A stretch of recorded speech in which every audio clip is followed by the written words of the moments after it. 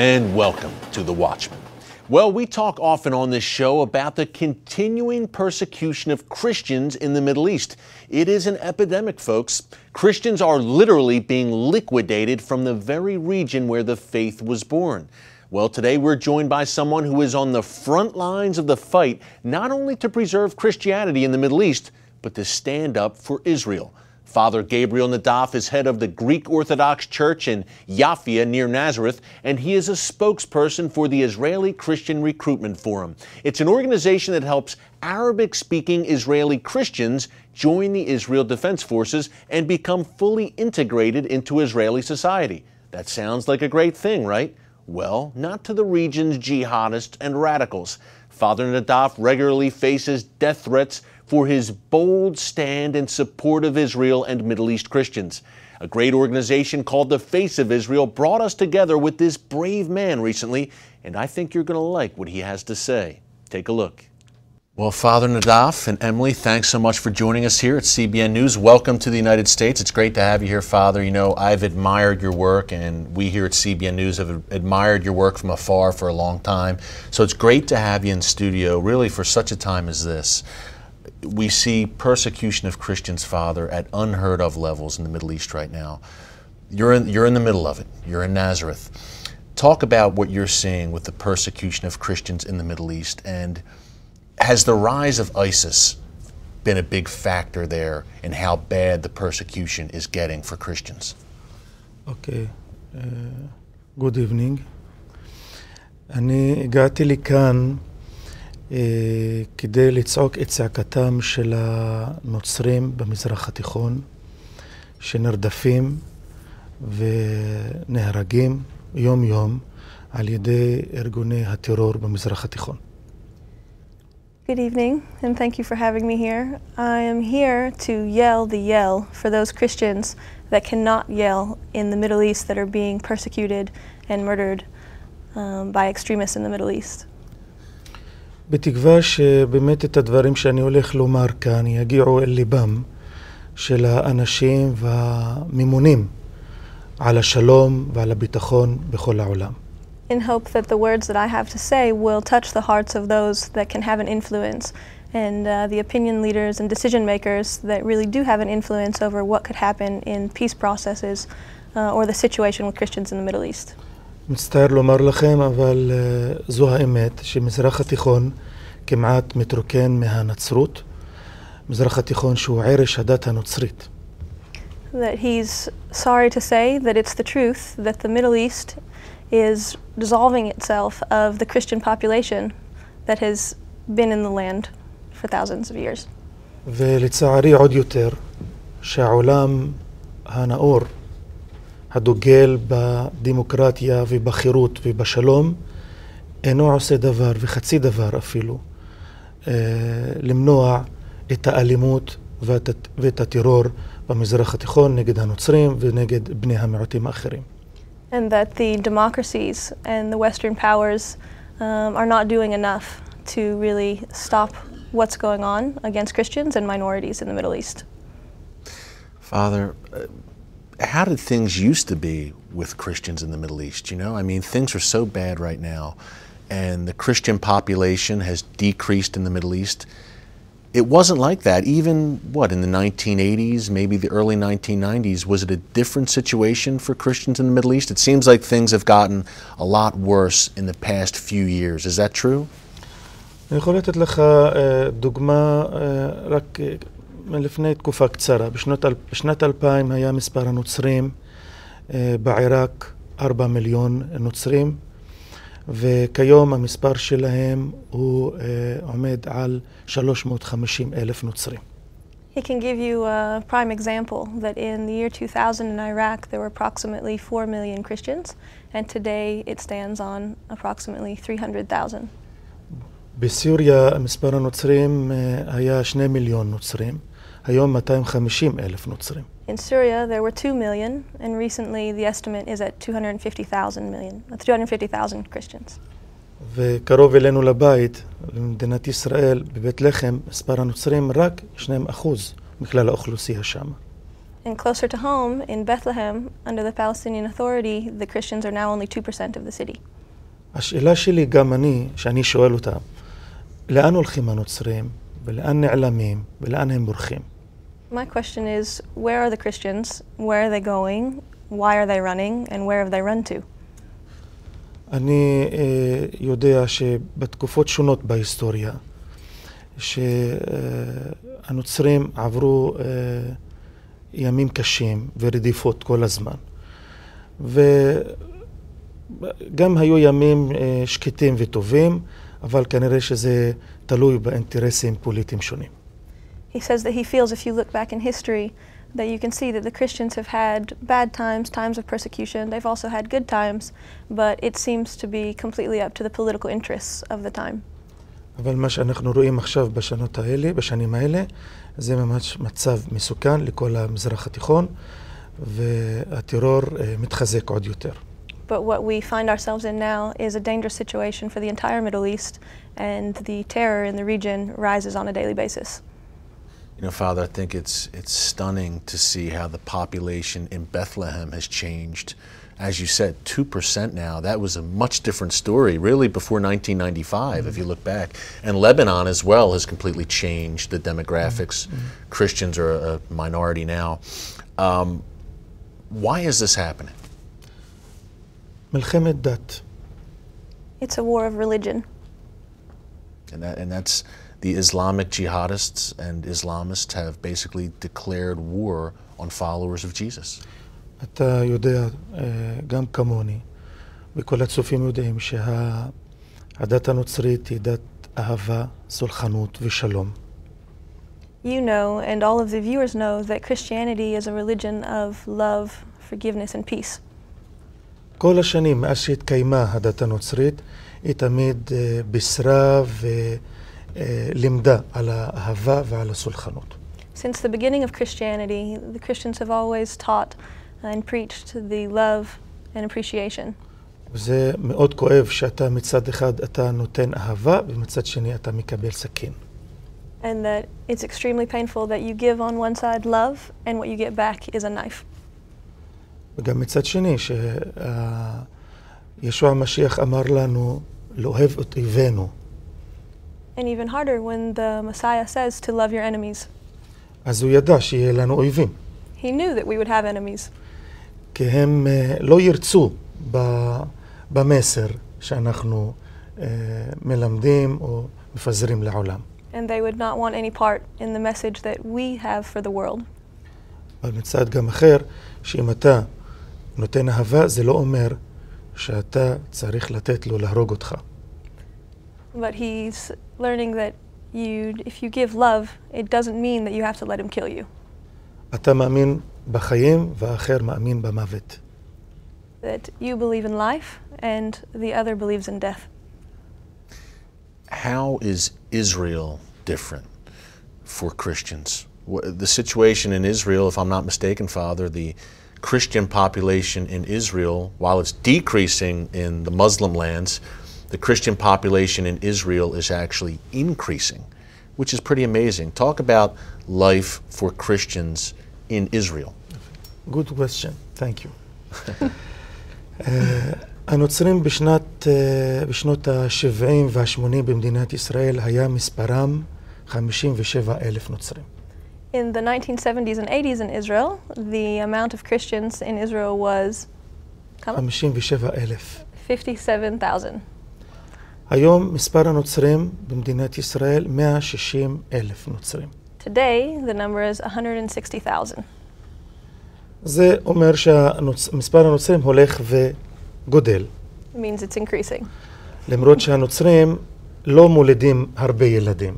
Even though the Christians don't uh, have so many children. אה, אה, אנחנו אה, במדינת ישראל הנוצרים מוגנים, יש לנו חופש פולחן דתי, חיים בדמוקרטיה ובביטחון. The Christians in Israel have freedom of religion, they live in democracy, and they're safe. אנחנו לומדים באוניברסיטאות, We study in universities, אנחנו עוסקים בכלכלה, we have economic prosperity, בכל תחומי החיים האפשריים במדינת ישראל. they enjoy all of the fields of life in a democratic country.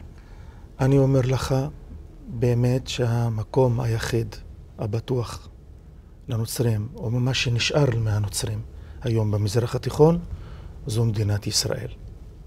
He says, I want to say to you that the only safe place left in the Middle East for Christians is Israel.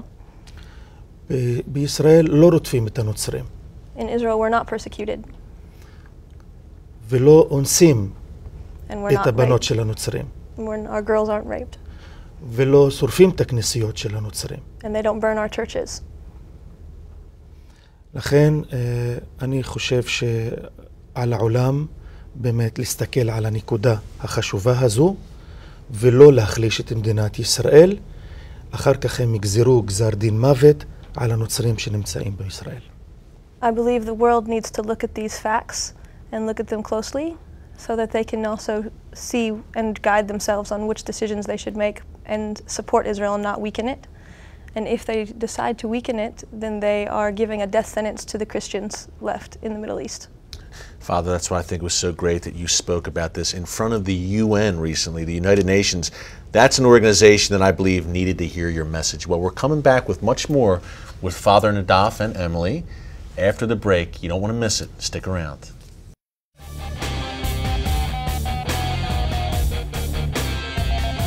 And welcome back. We are honored to be joined today by Father Gabriel Naddaf, coming to us from Nazareth in Israel, and Emily Nielsen from the Face of Israel, his interpreter, translator, teammate. They make a great team, and it's great to have you. Father, before the break, you were telling us about the situation in Israel for Arabs, how it's different, for Christians, I should say, in Israel. You have evangelicals, Catholics, Orthodox, all branches of Christianity are welcome, are free in Israel.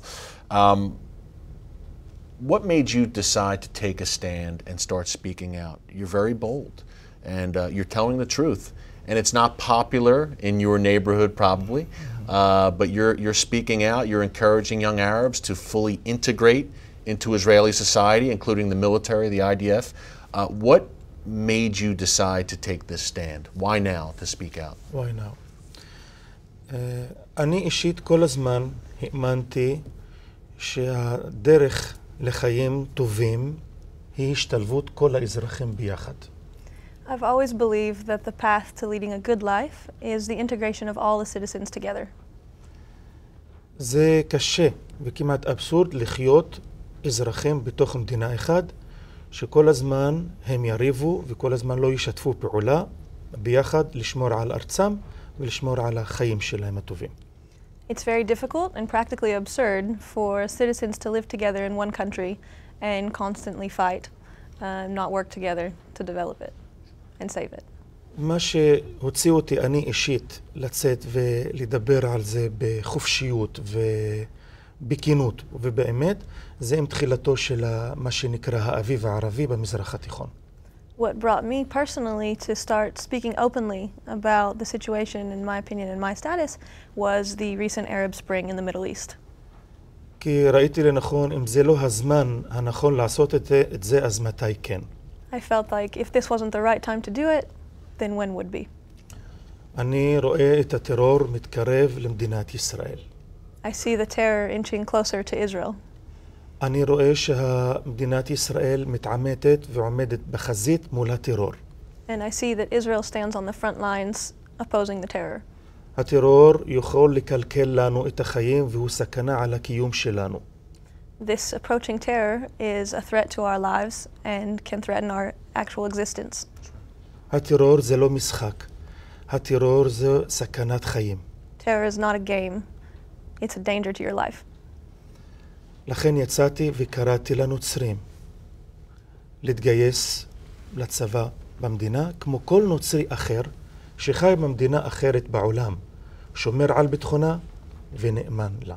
So I called out to the Christians that live in Israel to go to the army, just like every Christian in every other country would go to the army if in need.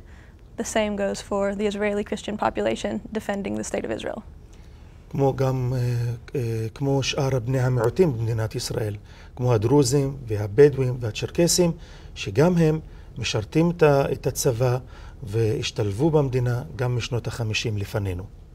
Just like the other minorities in Israel, like the Druze and the Bedouin and Cherkessi, that have all gone to the military and integrated as well. ולשמחתי, למרות שזה לא מצא חן בעיני רבים מהערבים שחיים במדינת ישראל, אבל זה הביא להצלחה בעליית מספר הנוצרים שמתגייסים לצבא, שבשנות ש... שעברו התגייסו כל שנה 30 עד 35 צעירים נוצרים לצבא. בשנת 2013, אחרי תחילת המהלך אה, שלנו, התגייסו 150 צעירים נוצרים בשנה אחת. And that he's extremely happy, despite the minor people in Israel who had issues with his actions and didn't really agree with him. Uh, he's happy to say that there's been a hu- huge increase in the recruitment of Christian Arabs to Christian Israelis to the army. Uh, if it was about 30 to 35 per year before he began his his movement, now it's around 150 in 2013. Wow. לא בגלל שילכו לצבא רק בגלל להרים או להחזיק נשק. Not to just go to the army to be able to hold a weapon. לא לשלוח את הבנים שלנו כדי להרוג, No, we're not sending our boys to kill, אבל כדי לשמור. but to defend.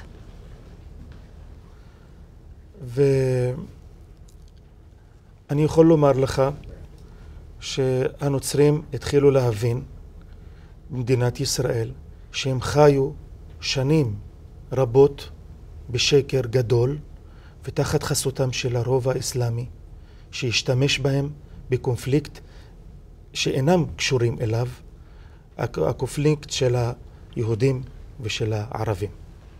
And he says that the Christians in Israel are slowly starting to understand that they lived for years um, under uh, a myth of the Islamic rulers in the area and that they were used in a conflict that the, that the Palestinian Muslims were having with Israel. We need, we need to keep it right there. We'll come back after the commercial. I don't mean to cut you off. More after the break with Father Naddaf, with Emily. Stay tuned. Much more to come. Stick around.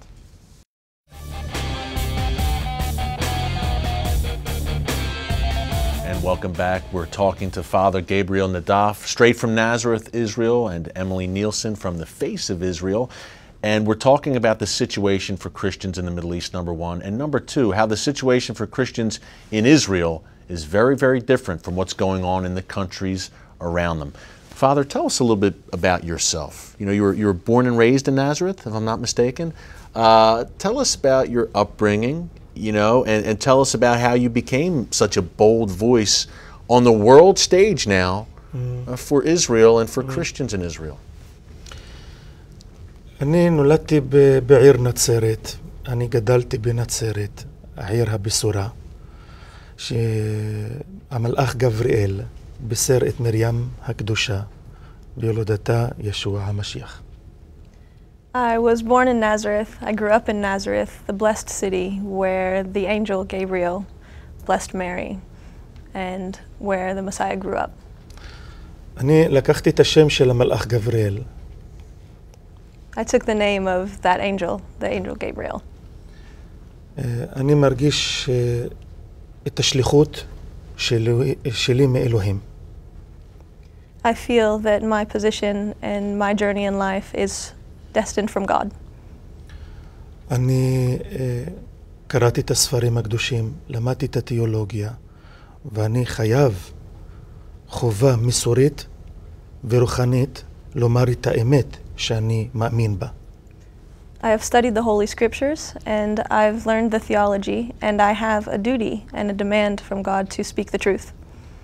כמו אדוננו ישוע המשיח והרבה מהשליחים שלו ששילמו בחייהם למען האמת הזו. Just like our Lord the Messiah, who himself gave his life in honor of it. והוא כתב לנו ואמר לנו ב- בברית הישנה, בתנ"ך, ובברית החדשה, 365 פעמים את המילה לא לפחד, אל לפחד. And that in throughout the Old Testament and the New Testament, the Lord so shows us 355 times, do not 65. 365 times, do not be afraid. זאת אומרת שכל יום הוא אומר לנו, אל תפחדו אם אתם הולכים בדרך של האמת. And so every day he says, do not be afraid as long as you're walking the path of the truth. אז אני לא מפחד So I'm not afraid מאף אחד. from anyone. בגלל שאני מאמין באמת שישוע המשיח אמר לנו אותה. Because I believe in the truth that the Messiah has given us. They're the original Islamic terrorist group. They spawned Al Qaeda and Hamas. They're America's next great enemy, and they're in your backyard. If you want to understand the war on terror, you must first understand the Muslim Brotherhood. Pick up my new book, The Brotherhood America's Next Great Enemy.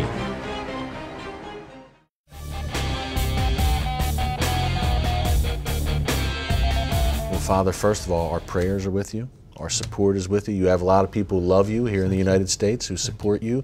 We only have about 40 seconds left, so we have to be quick. Do you have a final quick word for us of encouragement? Anything else you'd like to say in the brief time we have?